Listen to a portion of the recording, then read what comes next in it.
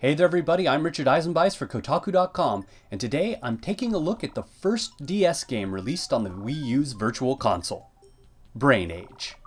Brain Age was released earlier this week in Japan on June 3rd as a free download in the Nintendo eShop. Now, you probably know that Brain Age is one of those games where you need to turn the DS on its side, so the Virtual Console just displays the two screens side by side on the gamepad.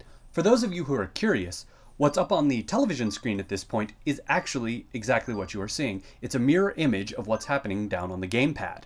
Now I've only played around a little bit with the Virtual Console version of Brain Age, but I can tell you that the games that use the mic work just as well as they do on the DS thanks to the gamepad's built-in microphone. Well, I hope you've enjoyed our look at the first DS game on the Wii U's Virtual Console. Brain Age was released in Japan on the Virtual Console on June 3rd, 2014. There's currently no word on an international release. Stay tuned to Kotaku East for all your Japanese gaming news and import previews. Thanks for watching.